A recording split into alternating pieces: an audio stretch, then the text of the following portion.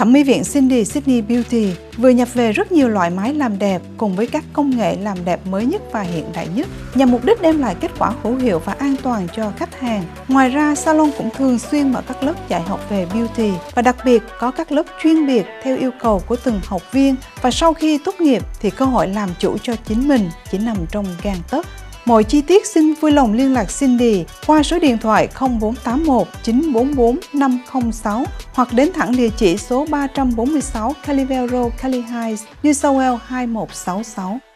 Nhà hàng Liberty Palace với phong cảnh sang trọng, hiện đại và ấm cúng, cùng dàn đầu bếp chuyên nghiệp, nơi lý tưởng để tổ chức các bữa tiệc cưới hỏi, sinh nhật cũng như họp mặt bạn bè. Với hơn hai chục năm kinh nghiệm trong lĩnh vực chiêu đãi, chắc chắn nhà hàng Liberty sẽ đáp ứng được mọi yêu cầu của quý khách để tất cả các bữa tiệc lớn nhỏ đều được hoàn hảo, bảo đảm là quý khách sẽ hài lòng. Mọi chi tiết xin liên lạc anh Peter Hồng qua số 0408 066 966 hoặc đến thẳng địa chỉ 2 trên 256 Chapel Road, Bankstown, New South Wales 2200.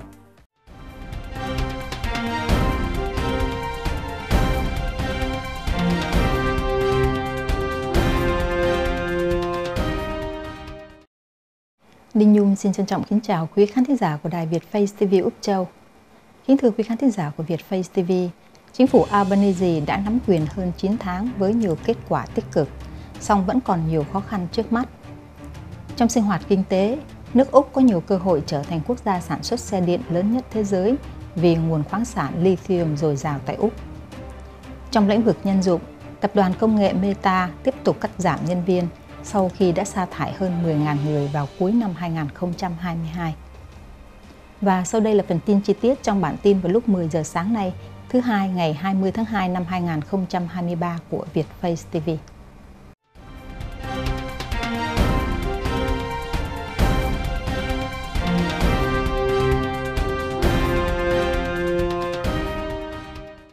Sinh hoạt chính trị Chính phủ Anthony Albanese gặt hái kết quả tích cực, song khó khăn vẫn còn đó. Sự bình tĩnh, tập trung của chính quyền Thủ tướng Anthony Albanese trong suốt 9 tháng qua đã góp phần định hình cách tiếp cận về đối nội và đối ngoại của Canberra, thiết lập nền tảng vững chắc để nước Úc tiếp tục vượt khó và tiến bước. Tháng 5 năm 2022, vào thời điểm ông Anthony Albanese thay thế ông Scott Morrison trở thành thủ tướng, nước Úc đang phải đối mặt với nhiều thách thức quốc tế chưa từng có trong năm thập kỷ qua. Canberra đã lập tức công bố một kế hoạch giảm phát thải năm 2030 tham vọng hơn, thiết lập cơ quan chuyên trách phòng chống tham nhũng và đề cập tăng lương cho người lao động thu nhập thấp. Vài tiếng sau khi trở thành thủ tướng, ông Albanese đã bay tới Tokyo để gặp gỡ lãnh đạo của nhóm tứ cường kim cương, bao gồm Mỹ, Nhật, Ấn và Úc. Sau đó, ông đã viếng thăm Indonesia. Tháp tùng cùng Thủ tướng Anthony Albanese trong chuyến đi này là Ngoại trưởng Penny Wong. Chính trị gia đã xây dựng một nghị trình bao quát, đưa việc đối ngoại trở thành thành phần then chốt trong việc hoạch định chính sách quốc gia. Tương tự nhiều chính phủ tiền nhiệm, Canberra dưới thời ông Albanese cũng đã ưu tiên xây dựng quan hệ với Đông Nam Á và Nam Á. Tuy nhiên, thứ làm nên sự khác biệt là thái độ lắng nghe một cách tôn trọng quan điểm của các nước khu vực, khẳng định rằng quyền lợi của họ sẽ ảnh hưởng và định hình lợi ích của Úc Châu. Canberra đã triển khai một số bước quan trọng nhằm tháo gỡ khúc mắc lớn nhất trong chính sách công của nước Úc trong thế kỷ 19 về xây dựng chính sách năng lượng bền vững khôi phục uy tín quốc tế, đặc biệt là tại khu vực Nam Á. Với Bắc Kinh, chính phủ mới Albanese đã có điều chỉnh về giọng điệu trên cơ sở các nguyên tắc cơ bản trước đó. Tận dụng cơ hội sau phản ứng tích cực từ Trung Quốc, Canberra đã triển khai hàng loạt cuộc gặp gỡ cấp bộ trưởng và thúc đẩy chuyến công du phá băng của Ngoại trưởng Penny Wong, có phần khôi phục liên lạc thường xuyên ở cấp cao, dù bất đồng về thương mại và lãnh sự vẫn chưa được giải quyết. Sinh hoạt chính trị Mặc dù thành công nhưng chính phủ Albanese vẫn còn nhiều thách đố. Sự kế thừa về mặt chính sách được thể hiện rõ nét trong lĩnh vực an ninh. Canberra đã tái khẳng định cam kết với thỏa thuận tam cường AUKUS giữa Úc, Anh và Mỹ, cũng như khuôn khổ của nhóm tứ cường Kim Cương. Thay đổi mới và đáng chú ý nữa đến từ quá trình mở rộng hợp tác quốc phòng với Nhật Bản, bao gồm tuyên bố chung về hợp tác an ninh Tuy nhiên, sự điều chỉnh rõ nét nhất là quan điểm về bản sắc quốc gia của Úc. Phát biểu trước sinh viên ở Indonesia, ông Albanese cho rằng chủ nghĩa đa văn hóa của nước Úc và nhận thức về bản sắc quốc gia đang song hành với cách mà chúng tôi nhìn nhận và thể hiện mình trên thế giới. Cách tiếp cận nêu trên đã góp phần nhân rộng và đa dạng hóa các liên kết giữa Úc Châu đối với thế giới. Một mặt, Canberra không rời bỏ các mối quan hệ bạn bè truyền thống. Mặt khác, Canberra cũng nhấn mạnh rằng những cụm từ như phương Tây hay khối tiếng Anh đã không còn phù hợp để định hình bản sắc tại Úc. Mặc dù vậy, khó khăn vẫn còn ở phía trước. Sự đối đầu cọ sát giữa các giá trị tự do, lợi ích quốc gia và cam kết khu vực vẫn còn đó và bộc lộ ngày một rõ nét. Bản đánh giá phòng thủ chiến lược của Úc sắp được công bố sẽ buộc Canberra phải đưa ra quyết định chưa có tiền lệ về quy mô ngân sách quốc phòng cũng như lựa chọn về chủ quyền phức tạp. Cạnh tranh Mỹ-Trung cùng quỹ đạo hành vi ngày một khó đoán định của Bắc Kinh sẽ đặt ra nhiều tình huống khó khăn mới. Đồng thời nước Úc cũng phải sớm đưa ra lựa chọn không dễ dàng về chính sách chống biến đổi khí hậu, năng lượng và môi trường. Tuy nhiên, sự bình tĩnh tập trung của chính quyền Thủ tướng Anthony Albanese 9 tháng qua đã góp phần định hình cách tiếp cận về đối nội và đối ngoại của Canberra, thiết lập nền tảng vững chắc để nước Úc tiếp tục vượt khó và tiến bước.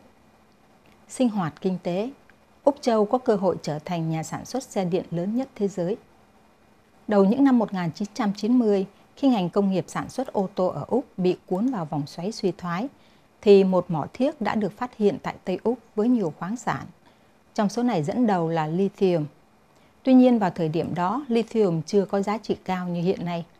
Tuy vậy, 30 năm sau, khi nước Úc không còn sản xuất xe hơi nữa, thì khoáng sản lithium lại bắt đầu được mời chào như là một động lực để hồi sinh ngành công nghiệp xe hơi tại Úc.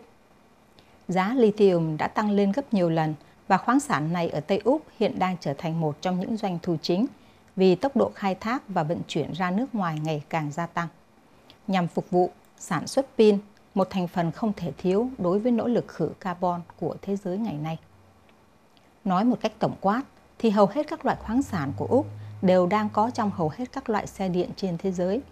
Vì vậy câu hỏi được đặt ra là nước Úc có nên tự sản xuất xe điện không?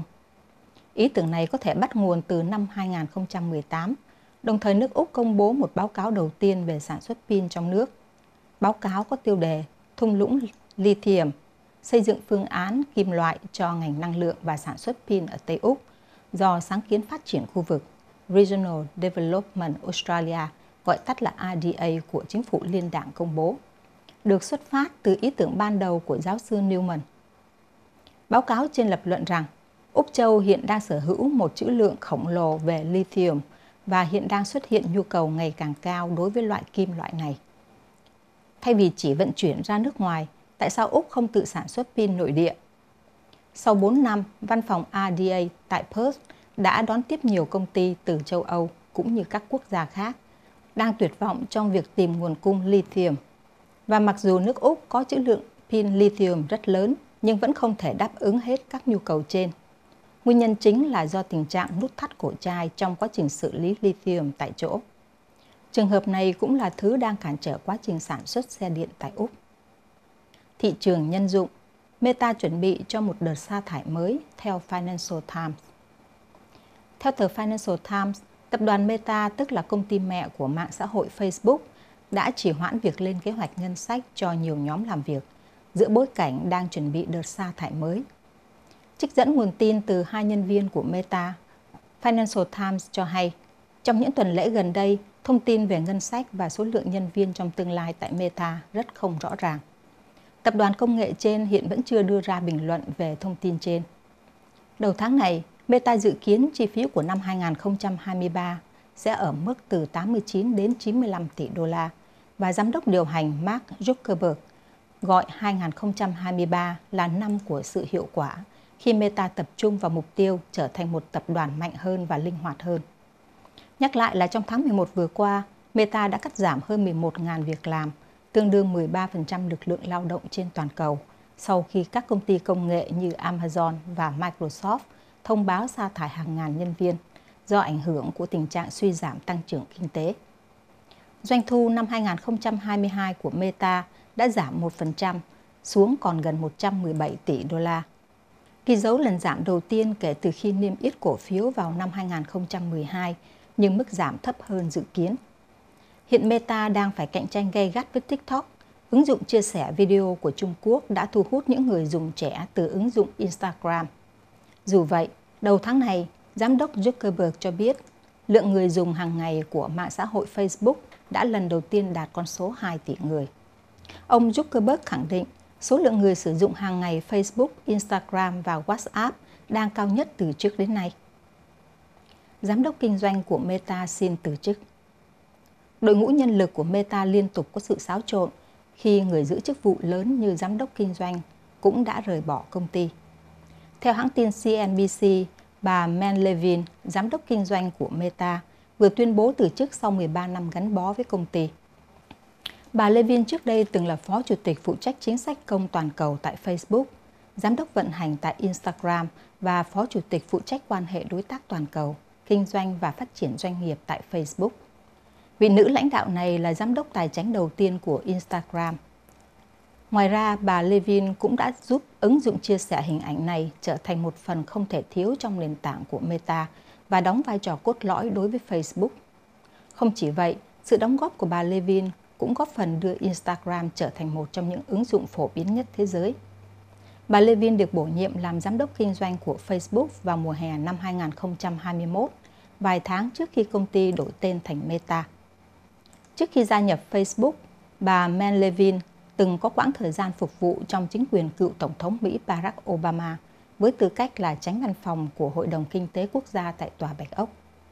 Bà bắt đầu sự nghiệp của mình tại Bộ Tài chính Mỹ dưới thời cựu Tổng thống Bill Clinton. Do đó, việc bà Levin rời khỏi Meta được coi là một tin tức vô cùng quan trọng và điều này có thể càng khiến Meta gặp thêm nhiều khó khăn hơn. Sức khỏe đời sống ăn ít hơn có thể làm chậm quá trình lão hóa. Một nghiên cứu mới chỉ ra rằng việc ăn ít hơn để giảm lượng calo nạp vào cơ thể có thể làm chậm quá trình lão hóa của con người. Tuy nhiên, theo Trung tâm Lão hóa thuộc trường y tế cộng đồng Mailman tại Viện Đại học Columbia ở Mỹ, thì biện pháp giảm lượng calo thực sự có thể làm chậm quá trình lão hóa, song chỉ ở mức nhỏ và không đáng kể.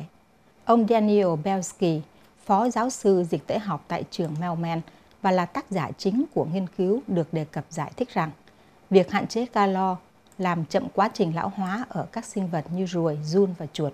Do vậy, ông và các đồng nghiệp muốn kiểm tra xem phương pháp này có hiệu quả tương đương với con người hay không.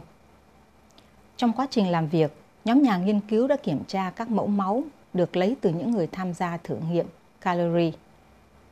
Đây là cuộc đánh giá toàn diện về tác động lâu dài của việc giảm hấp thụ năng lượng. Chương trình này chọn ngẫu nhiên 220 đàn ông và phụ nữ khỏe mạnh tại 3 địa điểm ở Mỹ để tiến hành giảm bớt 25% lượng calo hoặc giữ chế độ ăn uống bình thường trong 2 năm.